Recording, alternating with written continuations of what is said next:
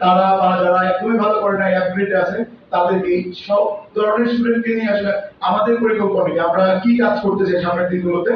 এটা আমাদের sir last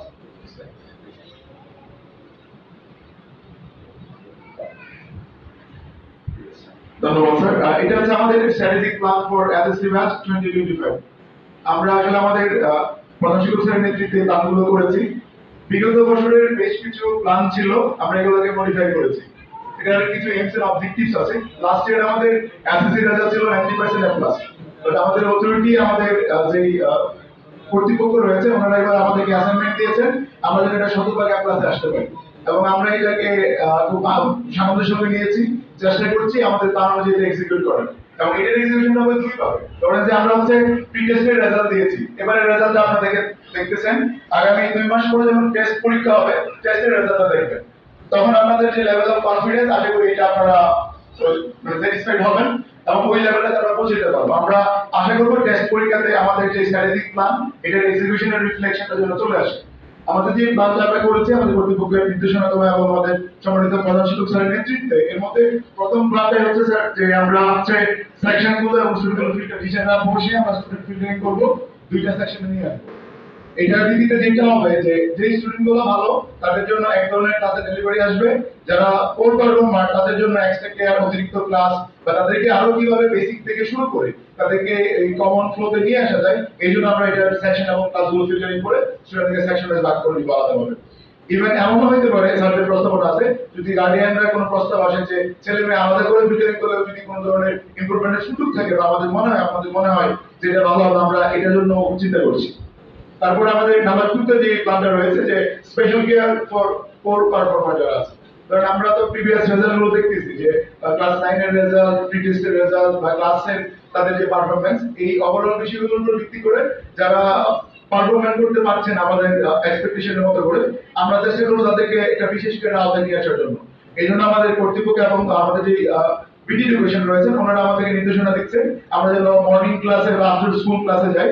এবং আমরা এটা পরিকল্পনায় রেখেছি। আমাদের সমাজের প্রধান শিক্ষক স্যার বলেছেন যে যদি প্রয়োজন হয়, প্রয়োজনে আমরা morning class after school class বা হচ্ছে প্রয়োজনে স্যাটারডে বা ফ্রাইডে ক্লাস দিয়ে হলেও আমরা এই পারফর্মার যারা রয়েছে, তাদেরকে আমরা কমন ফ্লোতে বা ওই সাধারণ স্টুডেন্টের সঙ্গে একটা লেভেলে নিয়ে আসব। এবং এটা টু সো এটা নিয়ে আমাদের কোনো কনফিউশন নাই।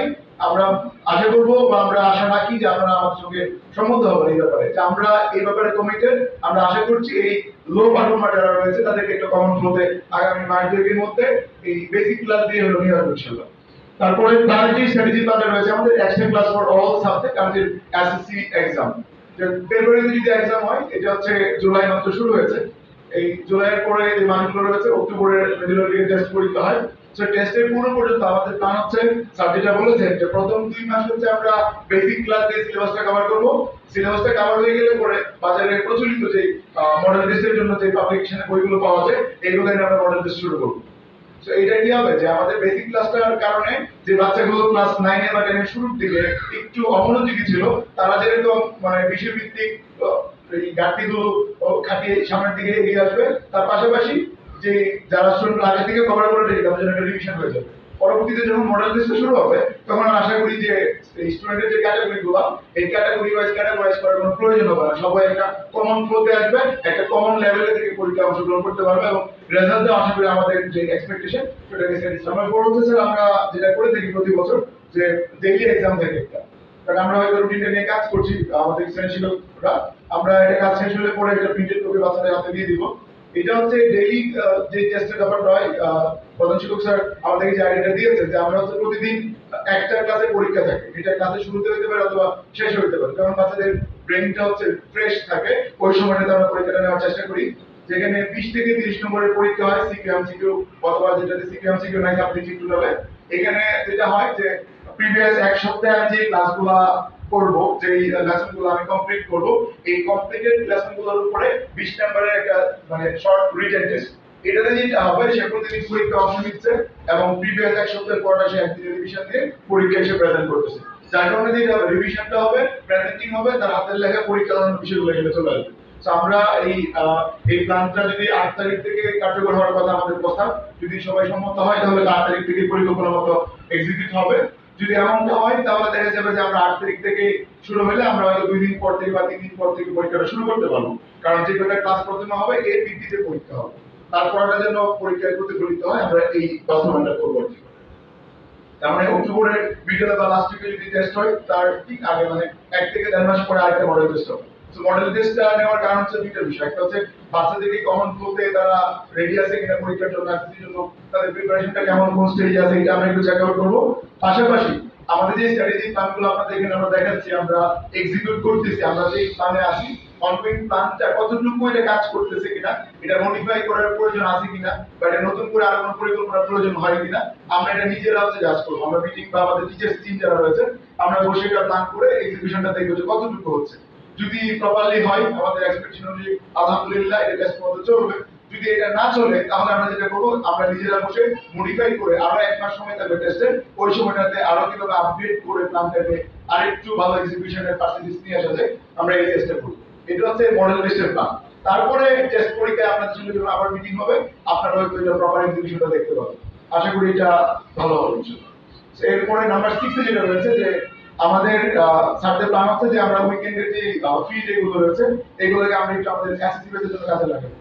এর মধ্যে একটা বিষয় হচ্ছে যে ওয়ার্কশপ বেসড ক্লাস মানে অন সাবজেক্ট অন ডে ধরেন যে আজকে এটা শনিবার, আজকে তো স্কুল বন্ধ, বাচ্চারা ফ্রি তো আমরা যে ভাইটাল সাবজেক্টগুলো রয়েছে ইম্পর্টেন্ট যেটাতে বাচ্চারা সচরাচর খারাপ পড়ে, বা যে সাবজেক্টগুলো বেশি পড়তে হয় লাইক সায়েন্স ইংলিশ ম্যাথ বা এই সাবজেক্টগুলা প্রতি সপ্তাহের এই উইকেন্ড আমরা রুটিন করে দিব। এই ক্লাস সঙ্গে রুটিন করে দিব।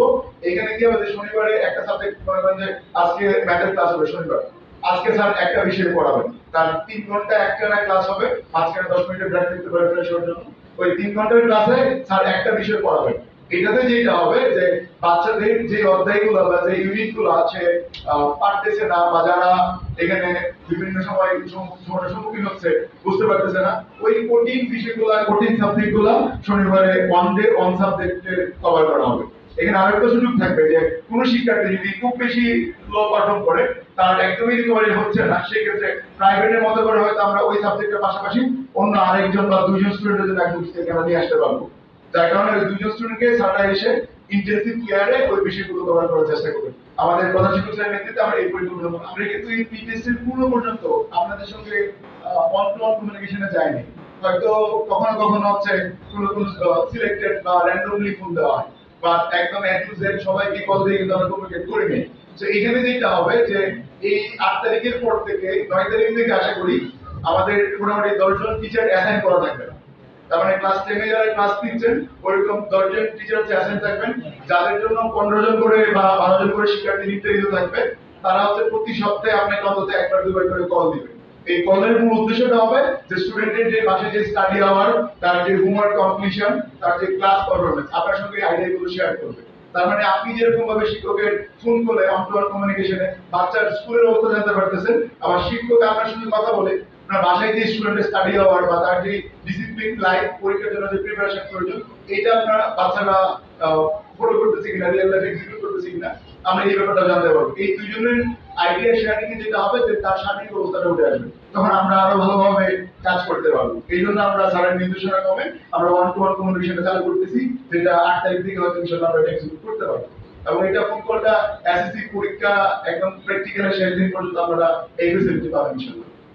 নাম্বার এইটে এবং সর্ব লাস্ট যেটা রয়েছে, এটা হচ্ছে আমাদের যে focus of well being motivation and encouragement এই যে এরা এত প্রেশারের মধ্যে দিয়ে যাবে, একটা মেন্টাল স্ট্রেস থাকবে, মাঝে মধ্যে যে মোটিভেশনের প্রয়োজন হবে বুস্টাপের প্রয়োজন হবে। সো স্যার যেটা মাঝে মধ্যে আমাদেরকে বলেন যে, সবসময় শুধু এই পড়াশোনার মধ্যে একাডেমিক স্ট্যান্ডে পড়ে থাকলে হবে মাঝে মধ্যে রিফ্রেশমেন্টেরও প্রয়োজন আছে। সেই জন্য প্রতি সপ্তাহে একাডেমিক ক্লাসগুলোর মধ্যে আমাদের সম্মানিত প্রধান শিক্ষক স্যারের একটা ক্লাস থাকে। এটা পোস্টার ক্লাস বলে আমরা মধ্যে মোটিভেশন ক্লাস বলি। 4G class। ক্লাসে যায় 4G ক্লাস এক্স্যাক্টলি স্যার এবং এটা এআই যুগের মধ্যে একটা অনেকটা স্যার যেরকম এসে সার্বিক বিষয়ে কথা বলবেন। Academic improvement ups and downs বা টিচারদের ক্লাস ইভালুয়েশন স্টুডেন্টদের অ্যাসেসমেন্ট ডিসিপ্লিন লাইফ তাদের মেন্টাল মোটিভেশন বা এদিকে অন্য মোরাল ইস্যুস থাকে।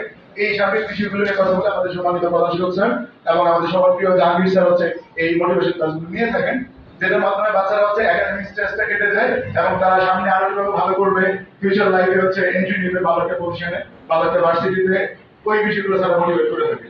আশা করি যে একাডেমিক স্টেজের বাইরে যে স্যারদের মোটিভেশনে তারা রিফ্রেশ থাকবে এবং তাদের ব্রেনগুলো সতেজ থাকবে, তারা আগামীতে ভালো করবে।